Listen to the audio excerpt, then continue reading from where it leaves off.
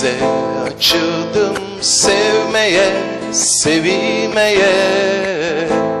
Anladım sevme gibisi yok. Yağmura soyundum yavaş yavaş yar diye. Damlalarda yüzmek gibisi yok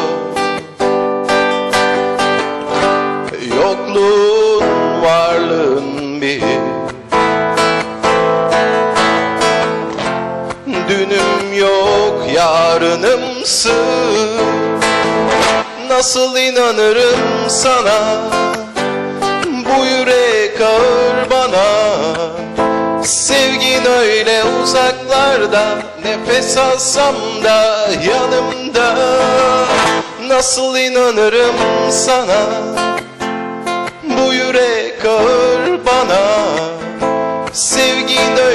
uzaklarda Nefes alsam da yanımda Bu aşk fazla sana Bu aşk fazla sana Evet efendim haber sonrası yine Cem'in çok güzel bir şarkısıyla güzel seslendirdi. Ağzına sağlık diyelim. Çok teşekkür Her ediyoruz. zamanki gibi çok güzel yorumladın Kesinlikle Cem. çok güzeldi sağ ol. Evet efendim şimdi haber sonrası Cem'in o güzel şarkısıyla döndük. Şimdi diyoruz ki Hüseyin Bilekli öncelikle hoş geldiniz diyelim. Nasılsınız? İzmir Kordelya Dağcılık kurucu üyesi. Hoş geldiniz. Nasılsınız görüşmeyeli? İyi, sizi bekliyoruz yürüyüşlere. ah ah. Neden gitmiyorsun Yeşim? Yürüyüş olmazsa olmaz da biz evden işe bile hani çok kolay mesafelere bile yürümeden geliyoruz. Aslında üşeniyoruz biraz da. Herhalde e, şehirleşmenin handikaplarından biri de bu. Ama çok güzel aktiviteleriniz var. Her şeyden önce geçen sene sezonun sonunda yakalamıştık. Bu sene sezonun başında yakaladık. O yüzden Şimdi mesela e, birbirinden güzel yerler var ve özellikle seçilmiş e, çok güzel de bir program var. Ee, geçen sene e, bazı eksikliklerimiz vardı biliyorsunuz o Evet. konuştuğumuzda 2009 yılında kurulduğumuz için e, bazı eksiklerimiz yavaş yavaş tamamlanıyor. Yaşaya yaşaya görülerek- görerek yapıyoruz. Tecrübedir her şey, Tecrübe evet. ediniyoruz. E, bu sene gerçekten e, yürüyüşlerde yaptı, aldığımız tecrübeleri e, birkaç e, arkadaşımızın katkılarıyla diğer derneklerle görüşerek e, bilinmeyenleri e, keşif e, ekibimiz var. Başkanımız e, geçen seferde tanışmıştık. Evet, Veli, evet. Veli Bey'in e, katkılarıyla çarşamba günleri keşife gidiyoruz. E, yazın onlar çalıştılar biraz. Evet. E, bu programı çıkardılar. Tabii ki hatalarımız oluyor ama sonuçta yaşayarak her, her zaman öğreniyoruz. Peki kimler katılabilir? E, Yaş sınırınız var mı? Ya da hani fiziksel olarak zayıf insanlar, şişman insanlar.